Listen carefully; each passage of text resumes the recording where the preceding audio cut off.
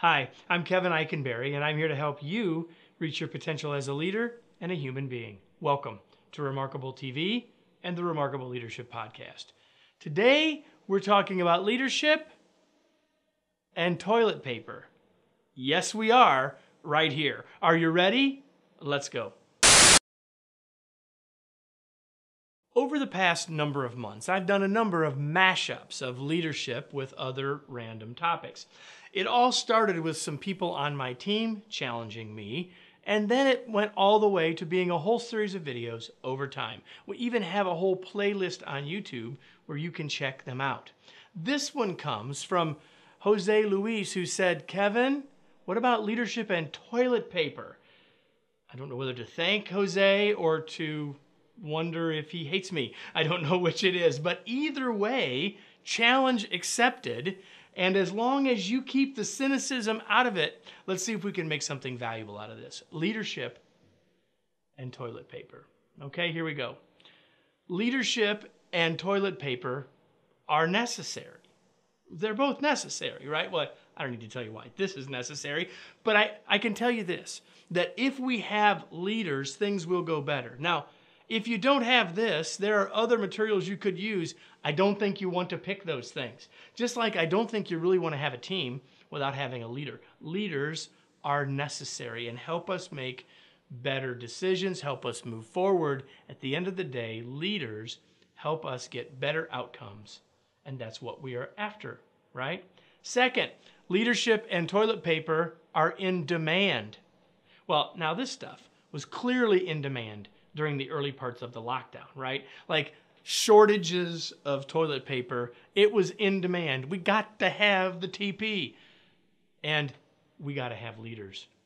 Leaders are in demand. The leaders who are most effective are of, in great demand and have great value. Strive to be that kind of leader.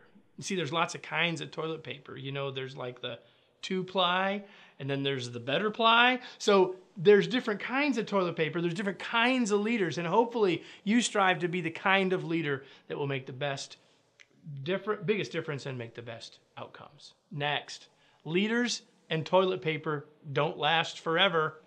Yeah, eventually this roll is going to be gone. It's going to be finished. And as leaders, we have a shelf life too. Hopefully it's longer than that roll of toilet paper. But the reality is that leaders don't last forever. Most of us as leaders will find ourselves moving to a new team, and sometimes we need to move to a new place. The team needs fresh blood. Doesn't mean we're an ineffective leader, but there's a there's a there's a time when it's ready uh, when when the team needs something new and we're ready to move on to something new leaders and toilet paper don't last forever.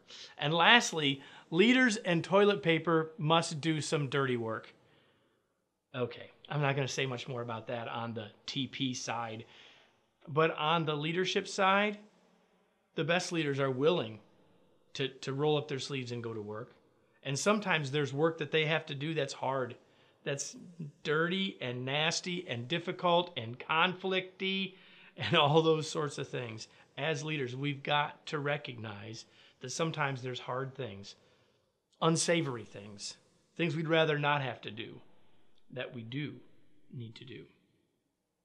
Now, normally at this point in a Remarkable TV episode or an episode of the Remarkable Leadership Podcast, I would summarize. I'm not really sure how I summarize leadership and toilet paper, but I have talked about four important things. Leaders are necessary, and the best leaders are in demand and uh, we have a shelf life before we need to move on to help other teams or to continue to change out the, inter, the interpersonal relationships and the people we work with. And lastly, as leaders, sometimes we have to do some hard, dirty stuff. Let me close with today's tweet. The best leaders are like toilet paper.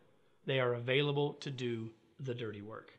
Each week, right here, we record another episode of Remarkable TV and we repurpose those on the Remarkable Leadership Podcast. If you'd like to watch them each week, you can join us right here on this page. You can subscribe.